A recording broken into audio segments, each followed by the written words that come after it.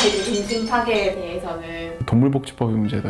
루돌프 노동조합의 위원장 가브리엘입니다. 산타 연맹의 대표 니콜라이입니다. 처음 만나신 네네 오늘 네. 처음 만난 거.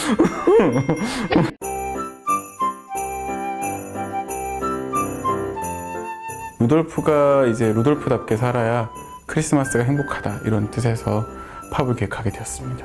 루돌프 노동조합이 있으면 반대로 산타 쪽도 있어줘야지 이 사람들이 뭘 주장하려고 하고 그리고 왜 대립이 일어나는지를 더 사람들한테 잘 보여줄 수 있지 않을까라는 생각이 들어서 산타 연맹을 만들게 됐습니다.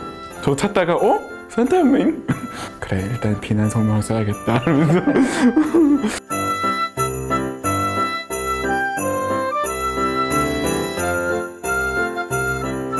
그 타이밍을 언제로 해야 되냐를 생각하다가 아무래도 크리스마스에 관련된 일이다 보니까 크리스마스 안에 끝내야지 의미가 있을 것 같아서 12시 25분에 올리게 됐습니다.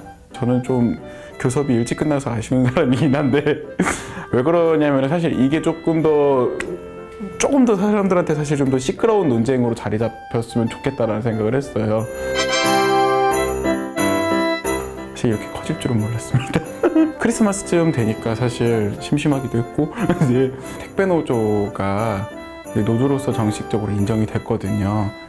좀 이 문제를 좀 재밌게 표현할 수 있는 방법이 이제 루돌프 노동조합이면 재밌겠다 싶어가지고 싶- 자기네 이익을 위해서 그렇게 한다라고 보지 않고 그냥 어 우리 사회가 더 나아가지려고 또 이런 일이 일어나는구나라고 생각하고 더 재밌는 논의처럼 이렇게 자연스럽게 받아들일 수 있는 세상이었으면 하는 바람이 있습니다. 산타를 믿는 모든 어린이들은 선물을 받을 권리가 있다. 보편적 복지에 대한 이야기들을 좀 담으려고 했던 부분들이기 때문에 그런 메시지들이 좀 잘 담긴 것 같아서 좋았습니다. 되게 재밌었어요. 되게 재밌는 이벤트였던 것 같아요. 사실 노동자들이 노동 환경을 바꾸고 삶을 바꾸는 생각보다 정말 큰 힘을 가지고 있거든요. 노동조합부터 가입을 하십시오.